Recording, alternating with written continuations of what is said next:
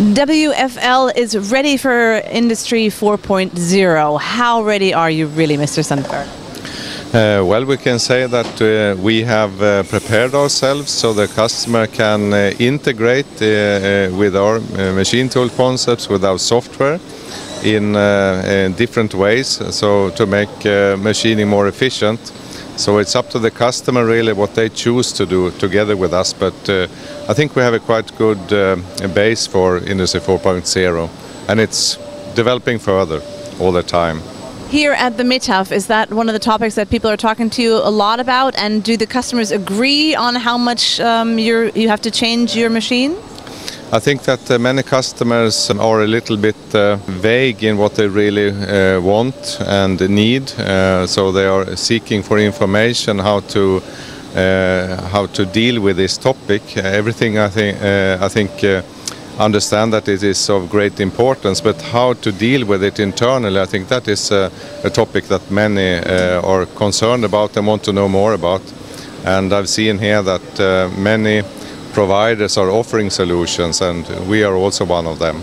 We're standing in front of the M30G Millturn. Um, it's a very special machine you're presenting mm -hmm. here. What exactly can it do?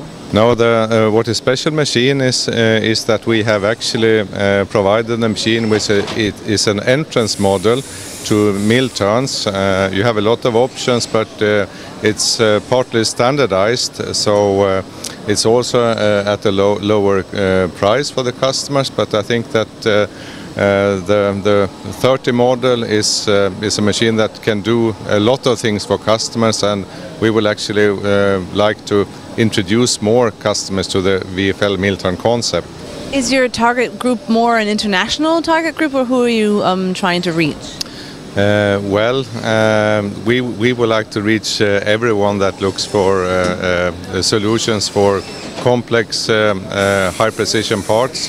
And uh, at this show, I checked this morning and we had leads from 16 different countries. So I think that the METAV really has a quite big audience, in fact bigger than I, I expected. What would you wish to see in 2020?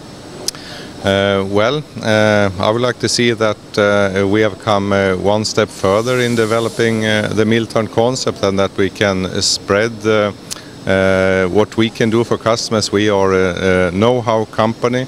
We can provide the, the, highest level of technology for, for customers and we are introducing new concept, we are introducing new tools, we go into new niches for us in a focused way like uh, gear manufacturing. So I hope that in 2020 we, we have uh, reached out to more customers than today. So apart from uh, Industry 4.0, um, what else are people talking about here at the fair?